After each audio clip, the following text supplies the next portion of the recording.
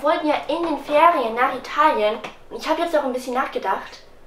Hoffentlich fällt es nicht ins Wasser wegen den Klausuren. Leute, ich bin gerade ein bisschen angepieselt. Ihr wisst ja, ich habe eine geile Schule und ich liebe meine Schule. Aber gerade finde ich die nicht so geil. Erst wurde ich ins Internat geschickt und jetzt muss ich in den Ferien und am Wochenende meine Klausuren schreiben. Ihr chillt und habt Ferien und ich lerne für meine Klassenarbeiten. Wir haben immer zweimal im Halbjahr unsere Klausurenphasen, wo wir dann in unseren Hauptfächern Arbeiten schreiben müssen und das dann immer an einem anderen Standort der Schule. Diesmal waren alle Internatsplätze belegt, deswegen gehe ich jetzt mit meiner Mom in der Ferienwohnung. Ihr wisst ja, meine Schule ist so ein bisschen anders, ist richtig kompliziert, deswegen werde ich jetzt auch nicht alles erklären und es ist ziemlich privat, deswegen behalte ich das für mich. Wir schreiben auch übrigens noch ganz normale Tests so in den Nebenfächern. Und das dann auch ganz oft im Halbjahr. Ich finde es halt nur voll doof, dass jetzt die Klausurenphasen in den Ferien ist, aber whatever. Ich will probieren mit meinen Outfits so ein 90s-Vibe zu erstellen. Letztens bin ich obsessed mit 90s. Ich habe nämlich angefangen, Friends wieder zu schauen. Oh mein Gott, ich habe die Serie gefühlt zehnmal geschaut. Ist wirklich die beste Serie ever. Mein Ziel ist es einfach so auszusehen wie Courtney Cox und Jennifer Aniston aus den 90s. Ein von den Outfits, die ich anziehen will, ist so ein weißen Pulli. Und dann noch so ein Denim Skirt. Der Pulli ist übrigens von Zara. Und dieser Rock ist von Motel Rocks. Und dann noch so eine Lederjacke. Keine Ahnung, wo die her ist. Ich habe die mal gethriftet in Antwerpen. Die ist so cute. Ich hatte die gar nicht so oft an. Ich habe so viele Lederjacken. Ich müsste die mal öfters anziehen. Die ist einfach so cute. Okay, ich habe jetzt off-camera fertig gepackt. Ich werde jetzt noch ein bisschen lernen. Ich habe diese Woche so viel gelernt und auch richtig viel mit meiner Freundin Sophia. Ich hatte dann Sophia. Also werden wir das jetzt noch ein bisschen machen. Koffer ist jetzt gepackt und dass wir wenigstens eine schöne Sache in den Ferien erleben, gehen wir nur mal kurz in die Stadt. Los geht's. Bevor wir losgehen, habe ich noch eine Challenge für euch. Schafft ihr es in drei Sekunden, meinen Kanal zu abonnieren und das Video zu liken? Eins, zwei, drei. Wenn ihr es geschafft habt, schreibt Klausuren in die Kommis und jetzt ich los. Wir gingen dann in die Stadt, nicht um was zu kaufen, einfach nur für den Wald. Als erstes waren wir in Douglas und ich habe nach einem Ostergeschenk geschaut. Dann hatte ich Hunger und wir haben was gegessen. Bekommt ihr beim Shoppen auch immer so Hunger? Dann waren wir noch in H&M und noch in einem Bücherladen. Bei Lululemon habe ich mir die gehypten Wasserflaschen angeschaut, aber nur angeschaut. Wie cute ist bitte dieser Bär? Mir wurde richtig warm, also habe ich mich mit dem Dyson für ihn abgekühlt. I'm back. Die Stadt war mega voll. Jeder hat jetzt Ferien, also Logischerweise geht jetzt jeder shoppen. Und ich will wohl nicht sofort anfangen zu lernen, also machen wir erstmal ein Haul. Erstmal waren wir bei Sephora. Fertig. So ein Zoll de Janeiro Kit gekauft. Hier. Ich finde das einfach so cute. Das ist übrigens ein Osterngeschenk. Ich will jetzt nicht verraten, für wen. Dann waren wir noch bei Douglas. Da habe ich einfach so schöne Sachen gefunden. Ich muss mir unbedingt mal einen neuen Concealer kaufen. Also habe ich von Too Faced den Born This Way Concealer gekauft. Der ist übrigens in der Farbe Butternut und noch eine Augencreme. Da führt jetzt wirklich kein Weg mehr dran vorbei. Ich muss lernen. Und jetzt fangen wir an. Okay, ich werde jetzt erstmal anfangen, Mathe zu lernen. Ignoriert, wie unordentlich das aussieht. Das ist dann übrigens meine Schultasche. Es sieht nicht aus wie so ein Schulranzen, aber da passt alles rein. Erst soll ich ja überlegen, ob ich einfach nur meine Coach-Tasche als Schulranzen nehmen soll, aber nee. Mir ist ja eingefallen, ich muss auch meine Bücher und so mitnehmen. Und da passt eigentlich alles rein. Ich finde, die sieht voll cute aus. Die ist übrigens von Urban. Wie gesagt, ich fange jetzt erstmal mit Mathe. Es sind noch ein paar Themen, die ich nicht wirklich verstehe. Wir machen gerade Prozentrechnung und ich verstehe die prozentuale Abnahme und Zunahme nicht wirklich. Ich bin so nervös, oh mein Gott. Ich hatte ohne Witz so einen richtigen Netto-Breakdown. Ich packe noch schnell meine Tasche und wir sehen uns morgen im Auto. So, wir sind jetzt im Auto. War's auch dabei? Ja, ich muss ja fahren. Und schaut mal. Die perfekte Kombi. Es regnet und wir haben Stau. Super. Ich lerne jetzt noch ein bisschen und Mama fragt mich dann gleich ab. Oh mein Gott. Ich habe gerade gemerkt, dass mein Deutschzeug in dem Kofferraum ist.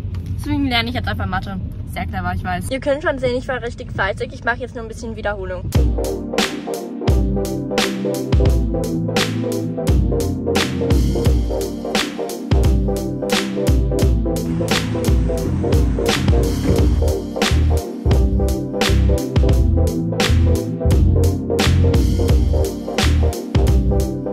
Waren ja jetzt beim Starbucks. Ich habe eine heiße Schokolade geholt und noch einen Brownie. Das Navi will Prost. unbedingt mitreden. Ja. Okay, lass dir schmecken. Dankeschön. Wir sind jetzt da. Ich mag gleich eine Roomtour. Es sieht so cute aus, aber wir haben mega Hunger, also gehen wir erstmal einkaufen.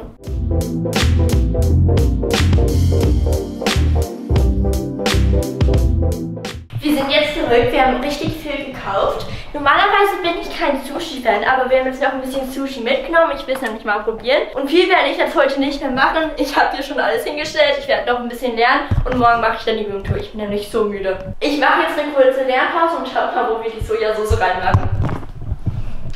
Ja, in ein Schüsselchen. Wir haben 15 Milliliter Soße und äh, 200 Milliliter Schüsselchen. Ja. Ich habe mir so Spieße gekauft. Und dann haben wir noch so eine California Roll mit Lachs und Geuser. Lecker. Du hast es noch nie gegessen, gell? Nee. Ich habe gehört, dass das süß sein soll. Also, Taste Test.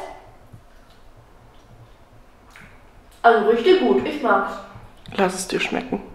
Ja auch. Ich esse das jetzt mit der Gabel. Oh, mit Sojasauce. Du hast noch nie richtiges Sushi so richtig, richtig gegessen, ne? Nee, ist jetzt mein erstes Mal.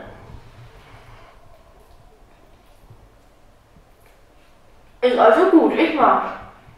Was jetzt bevor ich mal anfange. Wenn jetzt morgen nur noch Sushi gäbe, das ist das einzige Essen, was es jemals gäbe, würde ich nicht verhungern, aber ich wäre nicht sehr fröhlich. Der Enthusiasmus hielt nicht lange. Also es schmeckt, ist einfach nicht meins. Ich meine, hätte ich die Option zwischen beispielsweise jetzt ein Hotdog und Sushi, würde ich lieber Hotdog essen. Es war aber gut, es war sehr gut. Du bist eine kleine Schummlerin. Ich, es war schön, aber nicht so schön.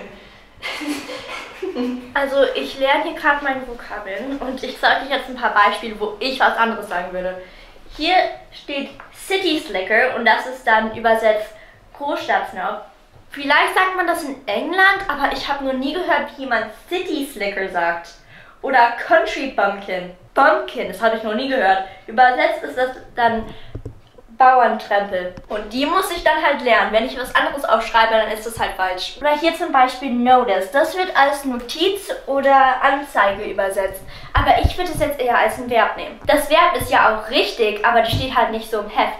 Deswegen wird es dann falsch markiert. Und jetzt muss ich halt lernen, was die hören wollen. Super. Oh mein Gott. Ich jetzt so. Sorry. Nein. Ich weiß. Ich bin traumatisiert. Ich dachte, City Slicker hätte dich traumatisiert. Ich mache jetzt noch ein bisschen Mathe und wir schauen Ginny und Georgia. Ich habe einen riesen Chip gefunden. Ich nehme mir das Geil. nächste Zimmer. Kommst du? Okay, ich mache mich jetzt fertig. Super. Immer, immer wenn ich was Wichtiges habe, kriege ich Pickel. Ich liebe meine Haut so sehr. Ja, ich mache jetzt meine Skincare und wir sehen uns dann morgen. Hallo, wir machen uns jetzt fertig. Gute Neuigkeiten. Mein Pickel ist schon fast weg. Das ist super. Wir machen mal kurz einen Outfit-Check. Die Sweatpants soll ich natürlich nicht anlassen, aber diesen Pulli. Es ist richtig kalt. Ich dachte, das wäre jetzt T-Shirt-Wetter, aber egal. Und du hast dich hier auf meinem Nachttisch ausgebreitet, weil es hier einen Spiegel gibt. Spiegel. Ich brauche große Spiegel. Und du setzt dir immer so Timer. Ja. Wenn ich unter Druck bin, dann setze ich mir mal Timer, damit ich so sehen kann, wie lange ich schon gebraucht habe. Funktioniert eigentlich. Ich packe jetzt meine Tasche und ich bleibe wirklich nur eine Stunde in der Schule, um meine Arbeit zu schreiben. Ich habe gestern Nacht so schlecht geschlafen. Wir müssen jetzt unbedingt los. Drückt mir die Daumen.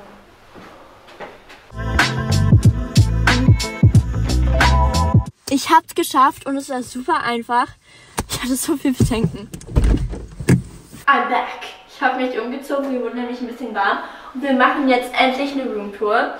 Also, hier kommt man rein, hier sind unsere Jacken und so, da sind die Schuhe. Hier drüben ist die Küche. Und schaut mal an, die Mama die Tipps, die sie so gemacht hat. Hey, man muss sich halt nur zu helfen wissen.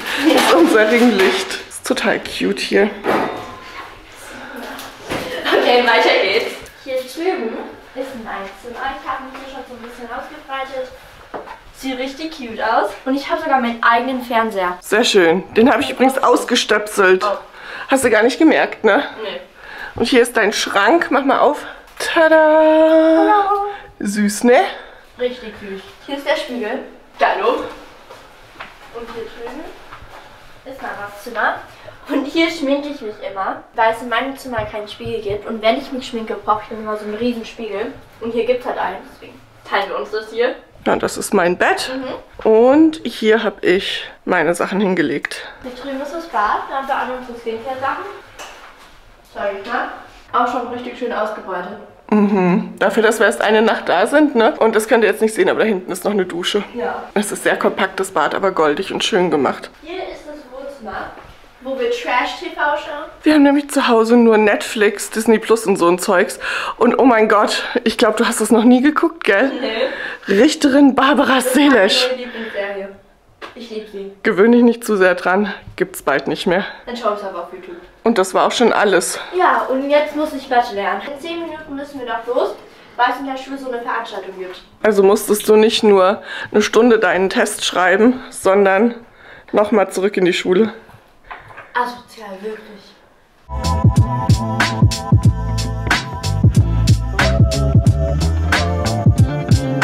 Ey, wie kommst du? Wir müssen los. Ja, so. Ich muss mich ein bisschen beeilen. Hallo Leute, sorry, dass ich gestern nichts mehr aufgenommen habe. Wir haben dann so viel in der Schule gemacht und ich habe dann einfach nur gelernt, als wir wieder zu Hause waren. Ja, ich bin so nervös, weil wir heute Mathe schreiben und ihr wisst ja, Mathe ist irgendwie das schlimmste Fach. Ich packe hier gerade meinen Schulrucksack und ich werde mich dann nach der Schule mit Sophia treffen. Also drückt mir auf jeden Fall die Daumen und schreibt mir nochmal in die Kommis, ob ihr euch noch an Sophia erinnern könnt. Ich war schnell mit dem Test fertig als Sophia, also habe ich natürlich mit ihrem Handy ein paar wunderschöne Bilder gemacht. Hallo Leute, ich bin jetzt bei Sophia. Sag mal Hallo. Hi. Hi. Wir werden jetzt so ein bisschen chillen. Wir wollen dann gleich noch so Eier filmen. ja. und wir melden uns dann gleich wieder. So, wir sind jetzt unten in der Küche und wir probieren jetzt Schokobons Crispy. Ja. Okay. Ja. Mm, du hast mein Ding verloren. Sophias Kinderding ist kaputt gegangen. Mhm, bist du gecrashed. Leute, I'm back. Es hat richtig viel Spaß gemacht. Wir haben ja noch so Eier angemalt und da gab es so Eier-Tattoos. Also haben wir uns damit so tätowiert. Sieht richtig cute aus. Es hat richtig viel Spaß gemacht und Mathe lief auch richtig gut. Da war nur eine Aufgabe, die so ein bisschen tricky war. Habt ihr aber trotzdem noch hingekriegt. Ich kann einfach nicht mehr. Ich bin so müde. Ich, es ist gar nicht mal so spät, aber trotzdem fühle ich mich einfach so schlecht irgendwie. Um mich ein bisschen mehr aufzuwecken, machen wir jetzt noch ein paar iPads drauf. Und schreibt mir nochmal in die Kommentare, ob eure Schule irgendwas komisches macht. Ich liebe iPads über alles. Immer wenn ich Zeit habe, bevor ich mich schminke, mache ich auch noch welche drauf. Einfach um mich so ein bisschen besser zu fühlen. Okay Leute, ich glaube, ich werde mich jetzt verabschieden. Ich schreibe nämlich morgen noch Deutsch. Oh mein Gott, dafür muss ich auch noch ein bisschen lernen. Ich habe nämlich heute heraus herausgefunden, dass Teil von dem Thema ich noch nicht verstehe, was sehr super ist. Also muss ich heute noch ein bisschen mehr lernen. Sonst wird morgen nichts passieren. Wir gehen dann direkt nach der Schule wieder nach Hause. Also würde ich sagen, hat richtig viel Spaß gemacht mit euch zu filmen und wir sehen uns dann beim nächsten Mal. Bis ihr Lieben. Ciao.